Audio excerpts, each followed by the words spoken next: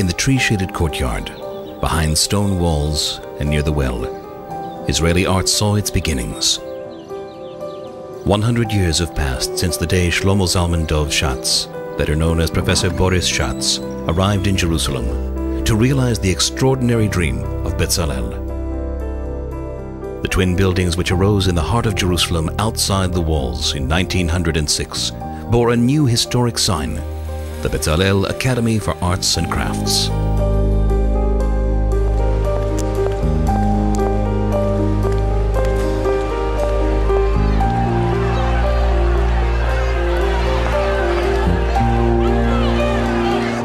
Eighteen sixty-six. Forty years before Bezalel opened its doors, Boris Schatz was born in Lithuania. A precocious, energetic child, he was soon banished from the Cheder classroom. As Schatz put it, hard as I tried not to think sinful thoughts, they kept creeping back into my mind, especially images of my beautiful cousins. I began painting, and I loved portraits, in which I find to this day the most interesting material for artistic expression. At the age of 23, Schatz traveled to Paris with his first wife to study sculpture and painting, earning his living as a wrestler and boxer.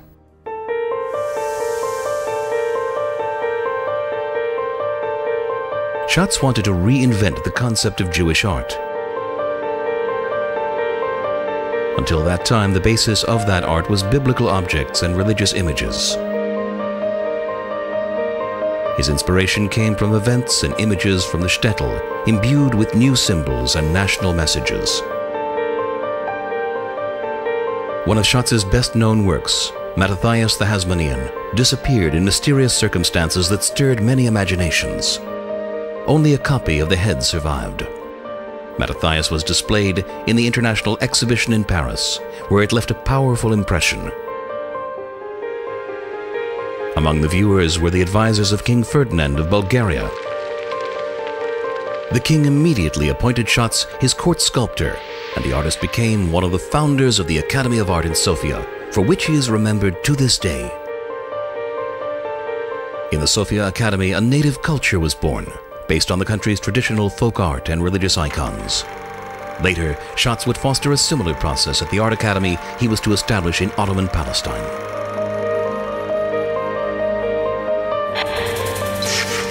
Vienna, 1903.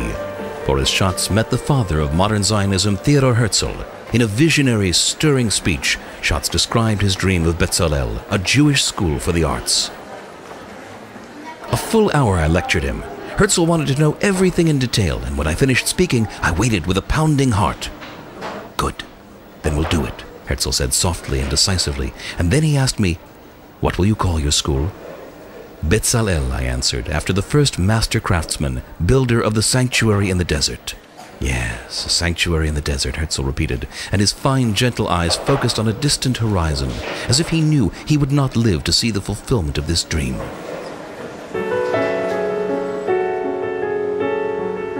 1911. Bezalel had been operating already for five years, and the twin buildings bustled with hundreds of students, half of them less than 19 years old.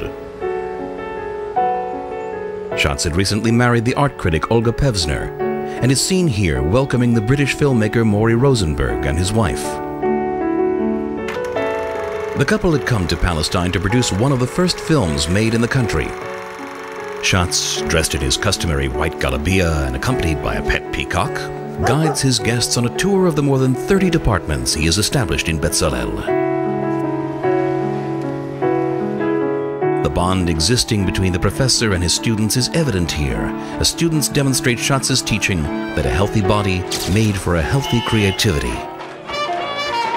In the background, one can hear the music played by the Bezalel Band, which echoed far and wide throughout the somewhat gloomy sparseness of Jerusalem of the early 20th century. In those years, most of Schatz's energies were drained by administrative work, fundraising, and mounting dozens of exhibitions abroad.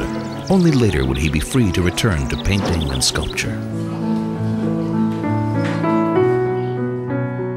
Crisis, 1915. The Berlin Jews who financed Bezalel from the outset wanted it to function as a profit-making enterprise.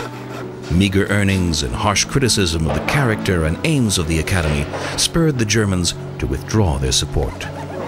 For 13 further years, new students filled its classrooms, but Bezalel did not recover from the economic blow it had been dealt.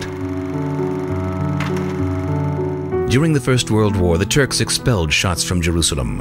He wrote Jerusalem Rebuilt, a utopian novel about the city in the year 2018. The book is full of visionary, imaginary inventions such as a telephone with picture images and an underground railway system traversing Jerusalem. The novel's hero, Bezalel ben Uri, stands with Schatz on the roof of the art school from which, as the professor prophesied, it would no longer be possible to see the then prominent Tower of David near Jaffa Gate.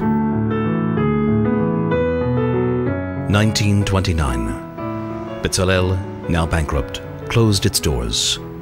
Against doctors' orders, Schatz sailed to the United States to sell artworks and raise funds. In 1932, Boris Schatz died in Denver, Colorado. He was buried in Jerusalem on the Mount of Olives.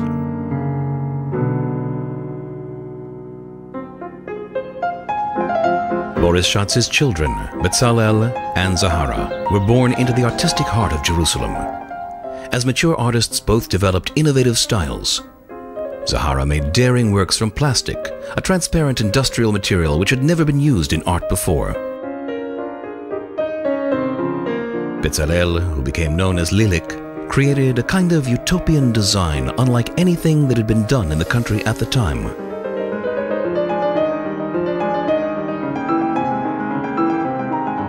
After Boris Schatz's death, his widow Olga and his two children left the country, settling for long periods in Paris and then in the United States.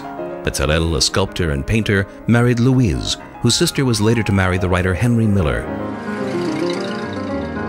Into the Nightlife, a book printed in a limited edition of 800 copies, was a collaborative work of the two brothers-in-law. Miller was the writer, Lilik was the illustrator. Louise Schatz, born in Canada and raised in California, was transparent, elusive, dreamy, yearning, clear as a bell, and distinct as a glistening spider web, according to Henry Miller in the introduction to a catalog of her works. Her paintings were principally watercolors, creating a poetic, delicate, feminine world. Louise, like Lilik and Zahara, saw applied art as a fertile field for invention and creativity. In 1951, the Schatz family returned to Jerusalem, to their house at number 3 Bezalel Street.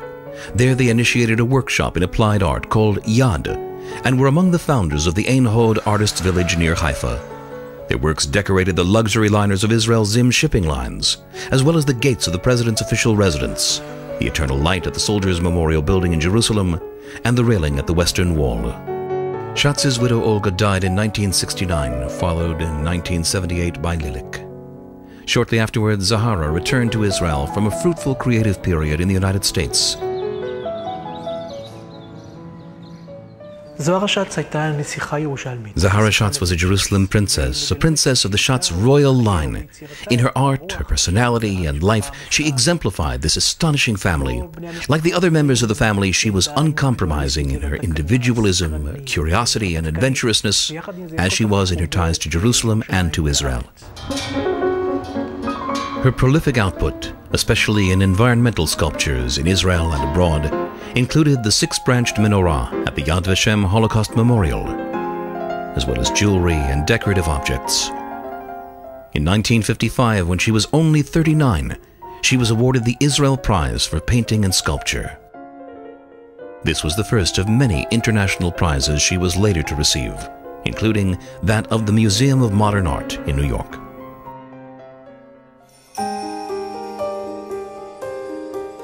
Zahara was the last of the Schatzes to live at number 3 Bezalel Street.